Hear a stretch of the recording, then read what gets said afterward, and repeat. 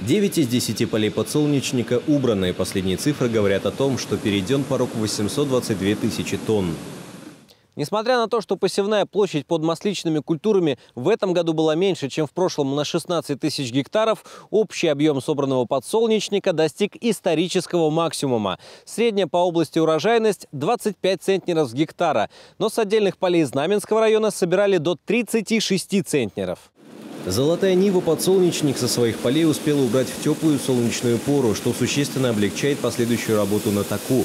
Сушилке придется постоять пустой, ведь влажность семян, пришедших с поля, всего 7%. Площадь у нас 1000 гектар в среднем. А, Значит, урожайность стабильно мы получаем в пределах 30 центнеров. И этот год показал, можно сказать, не хуже.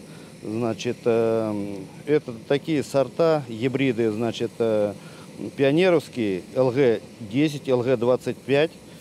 Количество урожая, как оказалось, сопутствует и его качество. Выход масла из подсолнечника этого года более 50%, что отразится и на цене культуры.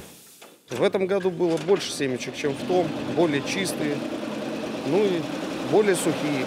Сортировка, если более влажные, то сушка. Потом опять подрабатываем и отправляем. После сортировки на таку золотой нивы подсолнечник очищают от немногочисленного сора и сгружают в хранилище. Оттуда семена разойдутся по маслобойным заводам.